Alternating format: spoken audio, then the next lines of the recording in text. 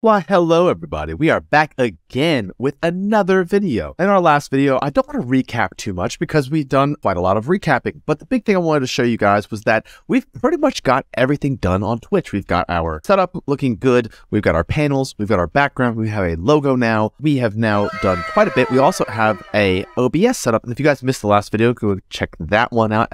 But more importantly, the one big key thing we're missing is chatbots. Now, today, most people don't realize that there's only a couple chatbots on the market. We have Nightbot, we have Stream Elements chatbot, we have Streamlabs chatbot, and there's a couple of others out there that I don't really want to go into because those are the three big ones. What if there was a way for us to use the power of ChatGPT to be useful inside of our Twitch chat, the ultimate chatbot. Instead of having to reprogram things and put in commands and do all the extra stuff that we are way too lazy to do, how about we just upgrade our stream chat by just adding in AI. It's as simple as that. I mean, quite honestly, if we're going to be professional streamers and we're going to hit Twitch partner, I don't have time to put in a thousand commands. It's much easier if we just have an AI do all of it for us. And that's exactly what we're going to do today. So in this video, I'm going to show you step by step how to add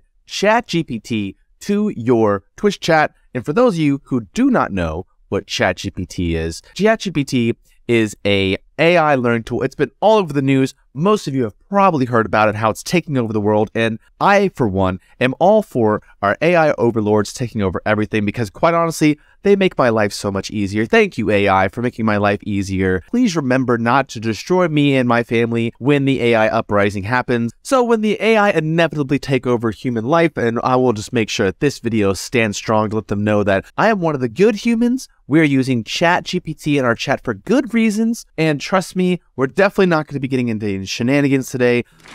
Just trust me. The cool thing is, with ChatGPT, it's an AI learning software that when you type in a prompt or a chat, we can set it up so that way it connects to your Twitch and you can ask it literally anything. For example, we're going to ask it, who is Mr. E Booty? And ChatGPT should definitely come back with something interesting.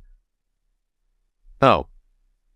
Well, that's sad. Fine, they don't understand who Mr. E Booty is, but they will. They all will. Because we will be the next big Twitch partner. Trust me on that. It's going to happen. Let's get into how I figured this out, how you can figure it out, how you can add it to your Twitch chat personally. And of course, we'll add in some memes because that's just who Mr. E Booty is. Without further ado, we did some digging and I want to give a big shout out to O Satanis. I have messed that name up quite a bit.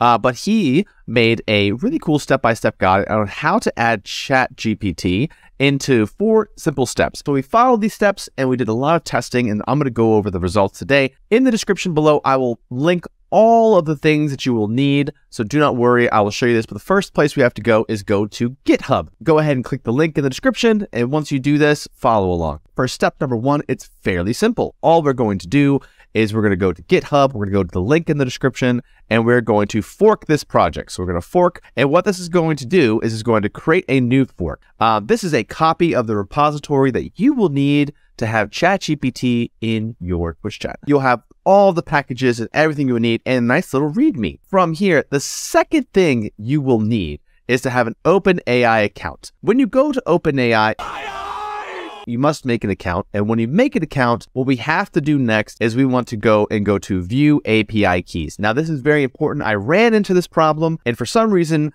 these pesky corporate overlords want us to pay them money, which I did. But if you have a brand new account that you have made, you do not need to pay money. I paid them $50. That's right.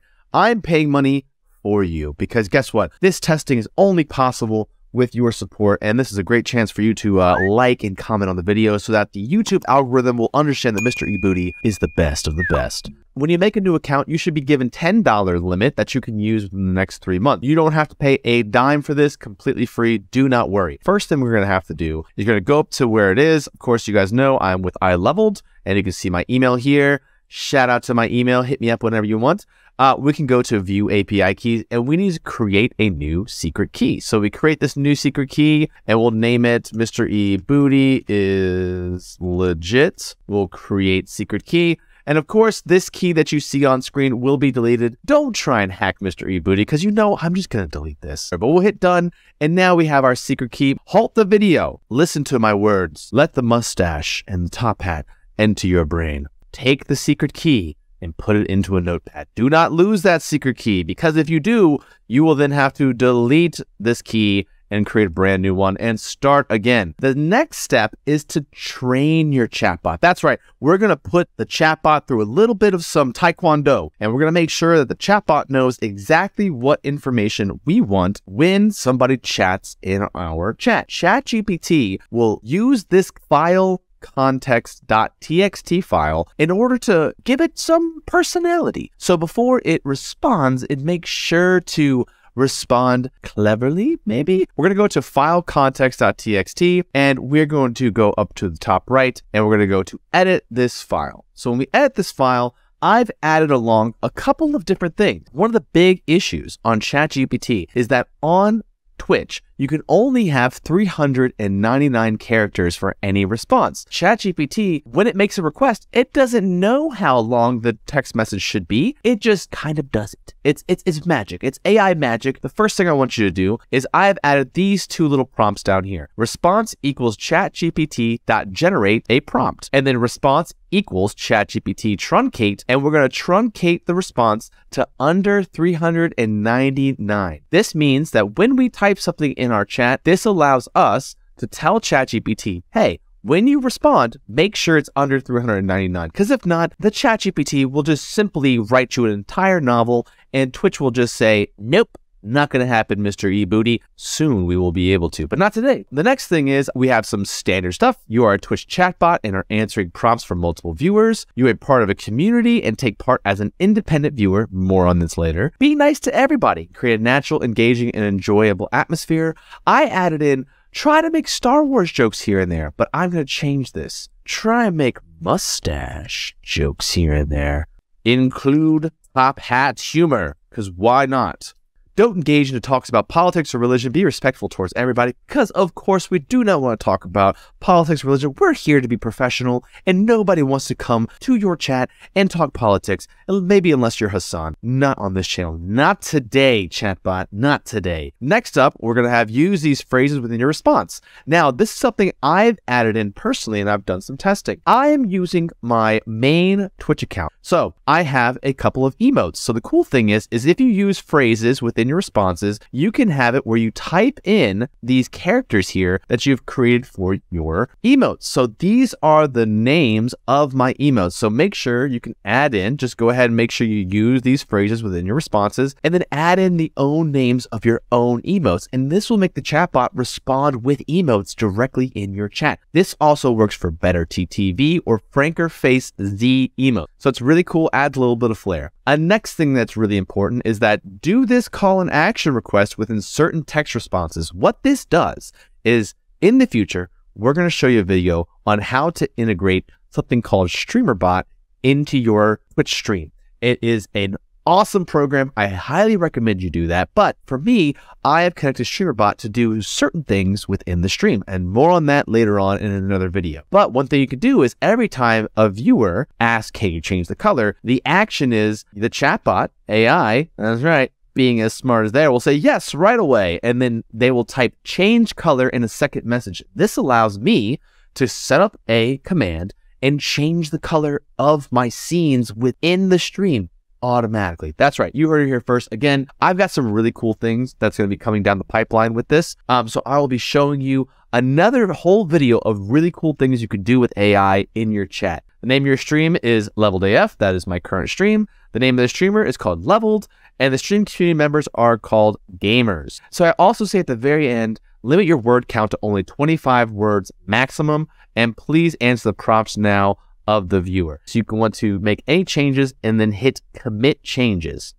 We're going to commit them to the main branch and commit changes and we committed them. So now they are saved and this is all good. So let's go back up to the top left.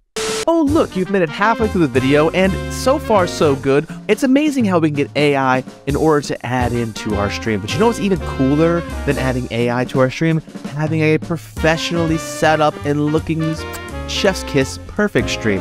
And that's exactly what we do at iLevel.com. Not only do we sell awesome overlays for OBS and Streamlabs, we also can help you set up your stream. So if you have some cool things or some ideas that you want to add to your streams, we can do it for you. So go to iLevel.com and then you can check out our services page and that will bring you where you can reach out to us and we will just help you with it. For the next, let's just say 30 people who like this video, I'm going to give you 15% off of anything in the store, including the services. So if you are interested and you want to do that, like the video, I can check the likes and then I can send you a little link. Thank you so much, everybody. Let's get back to the video.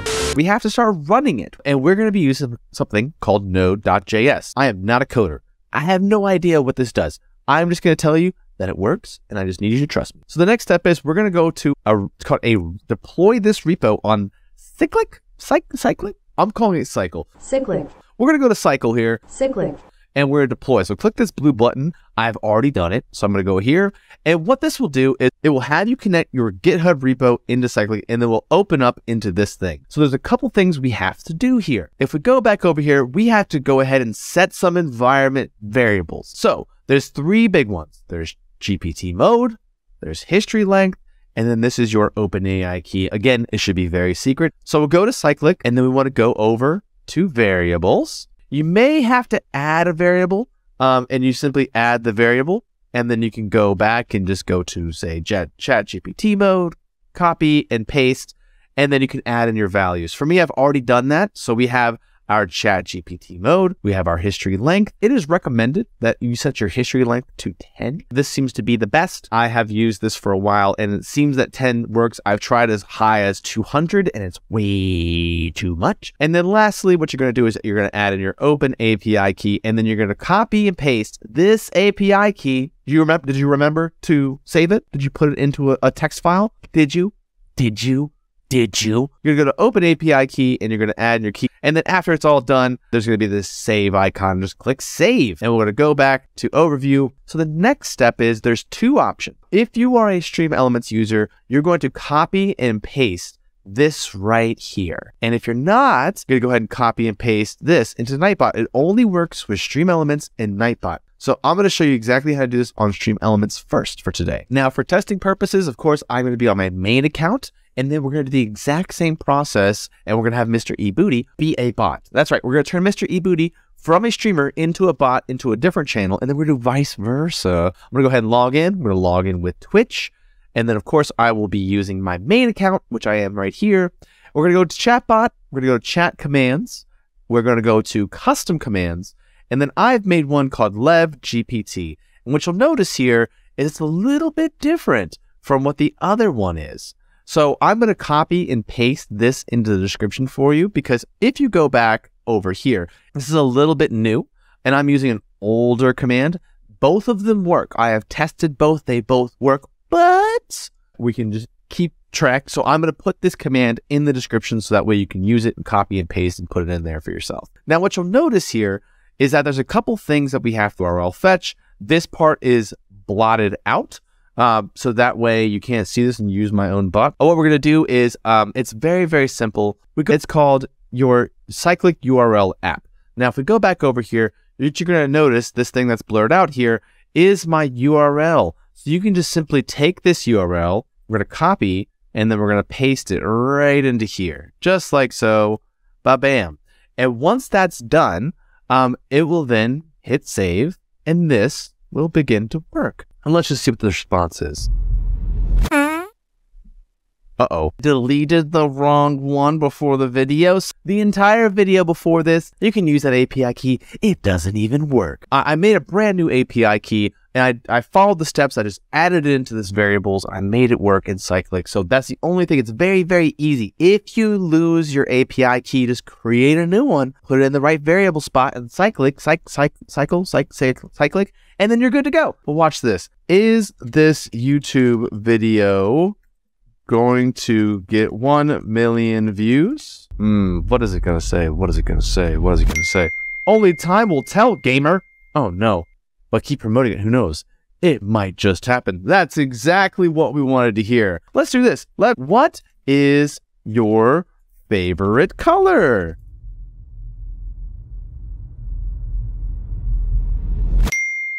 As a chatbot, I don't have a favorite color, but I'm happy to change the color for you. Yes, right away. Type change color. Oh, it did it. See? Exactly. This is the power. This is the power. If we go back to the file context, anytime somebody's asking about color, it's automatically putting in yes right away and then types the change color for us. So it makes it so cool where you can add in any variables, any information you want. If you wanted to do something for your OBS, you can do it. If you wanted to change the color of your scenes, you can do it. If you wanted to prompt a user to do something else, you can do it. If you wanted to change and send a YouTube video link, it can do it. It can do whatever you want. Watch this. Let's do it again. I'm going to edit this real quick. I'm going to do this. We're going to say viewer. Watch this. Watch this. What is Mr. E Booty's YouTube? We'll copy this, we'll go to action, and we'll do this, and then Mr. E Booty is the mustache and top hat lord. Here is the link. And then we're going to do this. And then we're going to go ahead and paste that link in there. And then that is the response. And then we can go ahead and watch this. It's as simple as this. We commit the changes. We commit, it changes. And then we can go ahead and we can just copy this and let me show you. And we ask that question, what is Mr. eBooty's YouTube page? Let's see what the response is going to look like. Do it. Do the thing. Mr. E Booty is a mustache and top hat lord. Here is the link. Who is Mr. E Booty? Watch this. If we just type in Mr. E Booty, let's see what it comes back with. Mr. E Booty is a legendary member of the gamer community. He rocks a mustache and top hat like no one else. That's what I'm talking about, chatbot. Ladies and gentlemen, it is simply that easy. Just simply adding in ChatGPT to your stream, you no longer have to worry about adding in each individual command. You can just simply tell ChatGPT exactly what you want it to do, and then it will just do it for you miraculously. It's so easy that your grandmother can do it, and your grandmother will also start to think about mustaches and top hats. Thank you so much for today for watching the video. It has been a pleasure to do this for you. What I'd like you to do is leave a comment below and tell me some prompts and some cool things that you have done. Or if you need help setting this up, I can go ahead and try and walk you through any steps. Make sure to like, make sure to follow, because next time we've got some even cooler stuff. And then we're going to start to plan our very first stream on Twitch. Thank you so much, and I will see you guys in the next video. Uh, toodaloo.